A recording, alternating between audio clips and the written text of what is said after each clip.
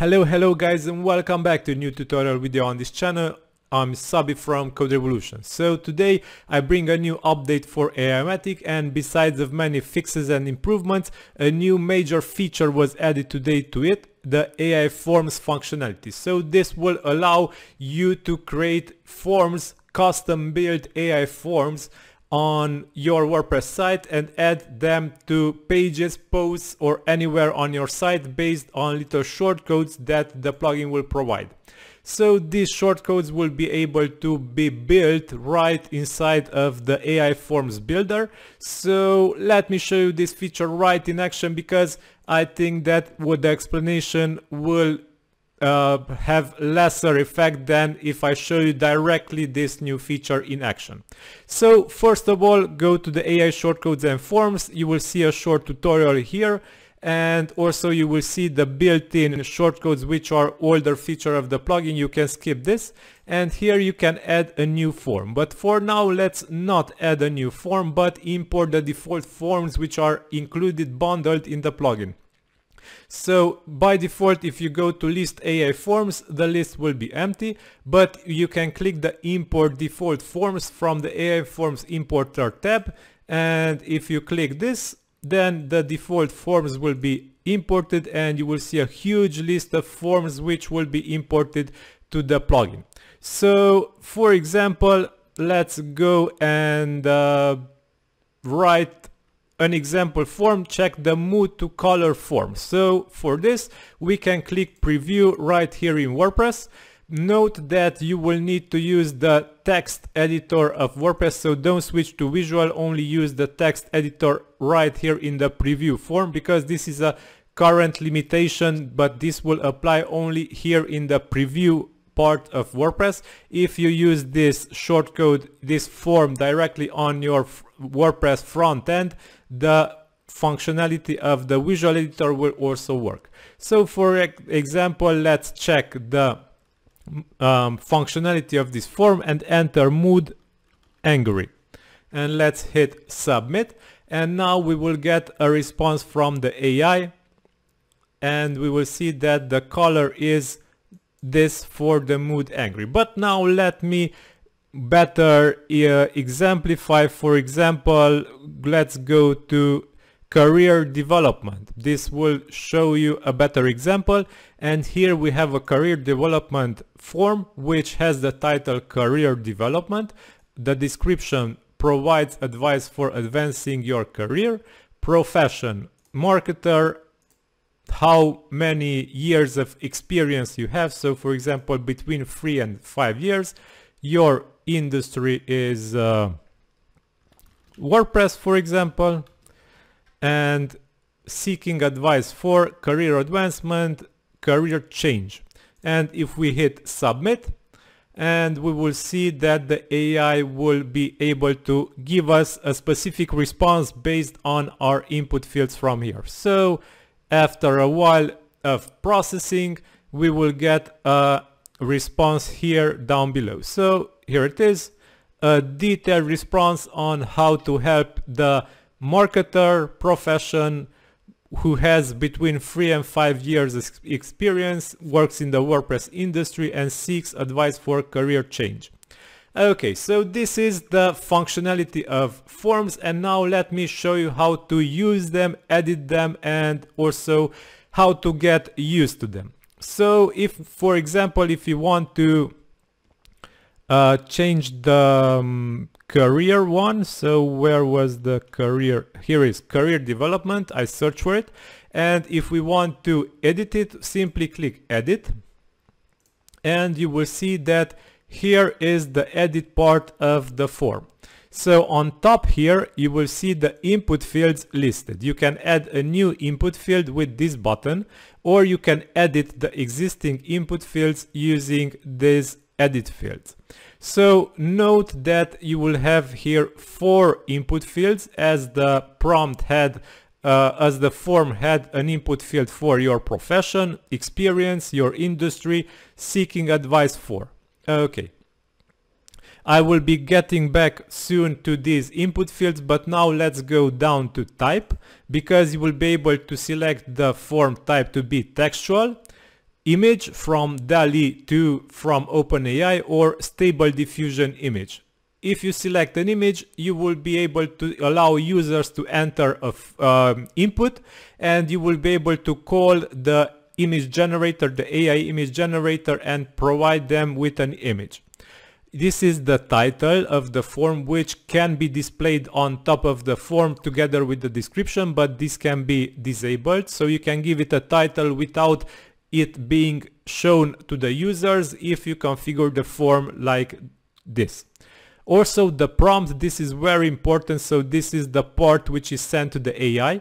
So this is the prompt. I have been working as a person profession and the person profession ID is here. As you can see is the first input field with the ID person profession and if the person profession input field is set we will be able to use in the prompt section here the person profession shortcode which will be replaced with the value of what the user enters in on the front end. For person experience years, so the person experience will be a select box, a drop down, which will be able to be replaced with these values and these will be selected by users. You can enter more values here, just enter one on a new line. You can enter here 100 years, for example, to be a bit funny. And if the user selects 100 years, so you can select multiple, you can set multiple values, one on each line. If you set drop down here in the options field, and this will be replaced by what the user selected. Industry it will be replaced by what the user adds in this textual field. And I am seeking advice for seeking advice for field will be replaced with this drop down for career advancement, change, job search, interview preparation and networking. Okay, so based on what the user enters, we will have this, this prompt which will be sent to the AI and we can set also advanced features. We can select AI model, token count, temperature, top P. These are advanced features of the AI writer. You can disregard this part if you don't want to edit them. It, the plugin will work very well also if you don't edit this part and you can set that show or hide the header. The header contains the title and the description of the form. So these are the title and the description. So if you set there to hide, this will not be shown, the title and description. And also you can set the submit button text, which is submit by default. So for example, let me show you I will add another field which will be added to the end here and it is empty right now and let me write um, salary target so we can ask also the user which is the user's salary desired salary so we can add the ID to this field salary. We can require it or no, but in this case I require it and we can make it text, select, number, email, URL, text area checkbox or radio box. So for example, let's allow this to be a select. If you want to make it select, then less than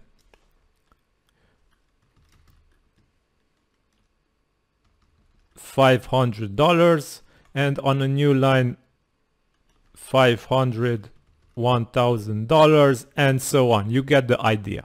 And if we wish, we can make it text or number. So we can allow the user to enter a number. We can set a minimum value and a maximum value, which are optional.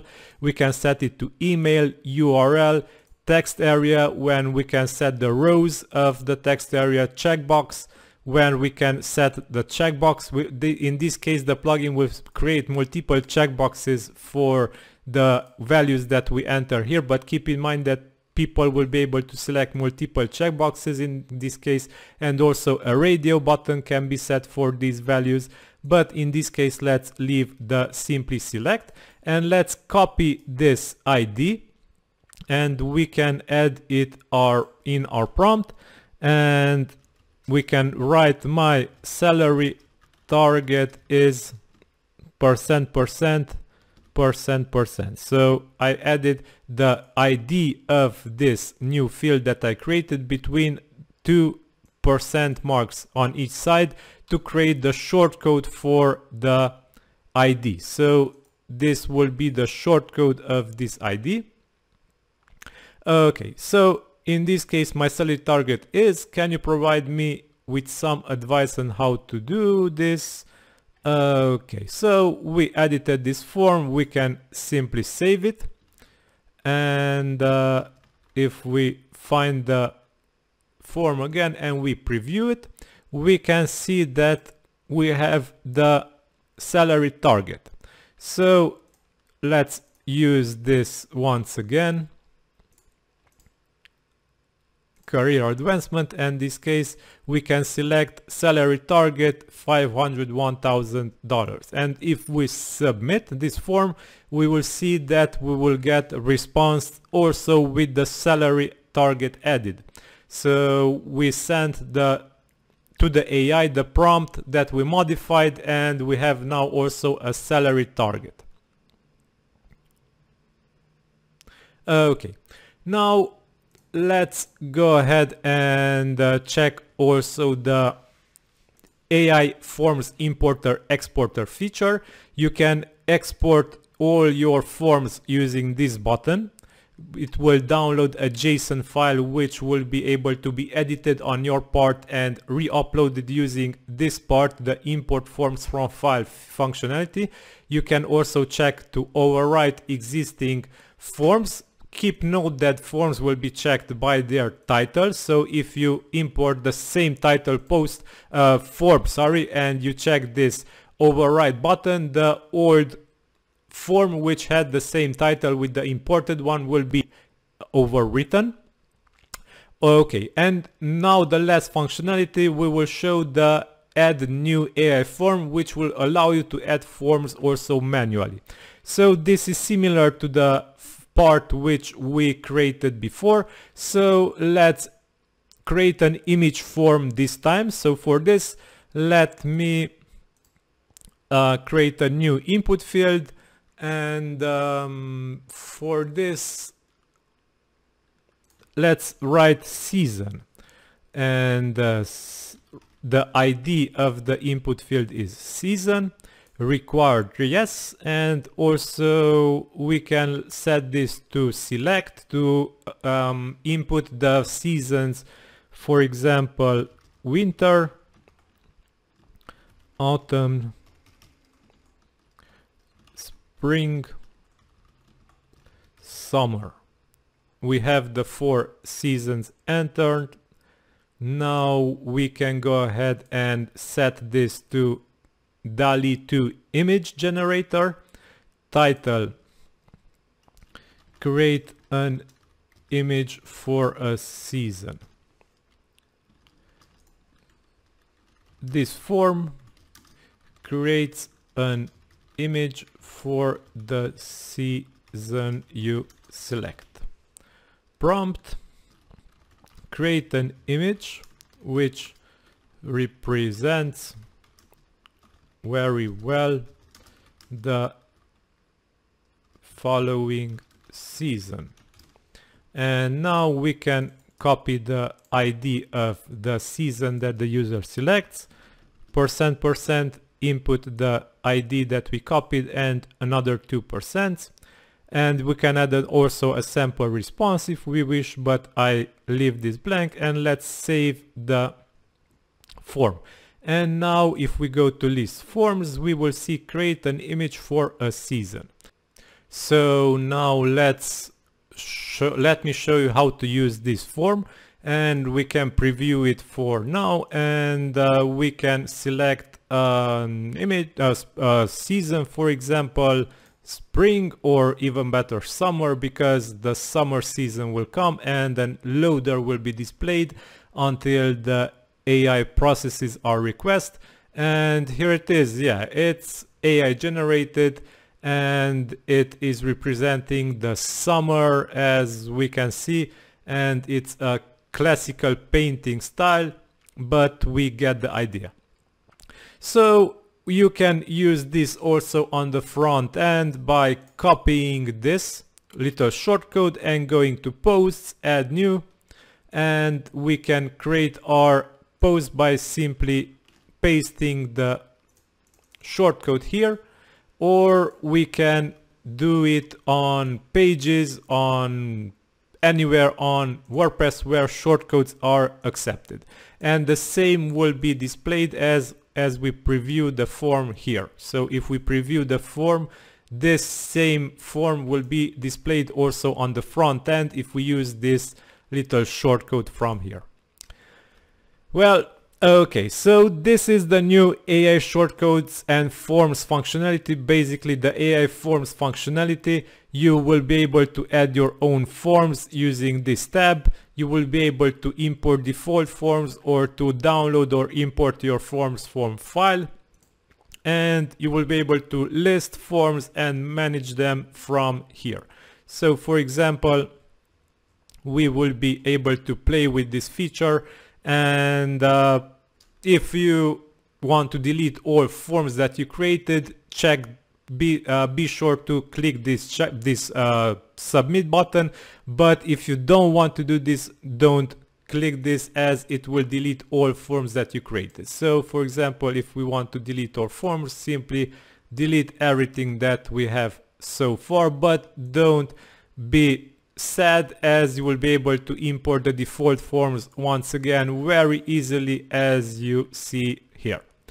Okay, so this is all for this tutorial video. I hope this AI forms functionality will come handy to you guys and as always if you have ideas, suggestions, let me know in the comments of this video. Thank you for watching until the end.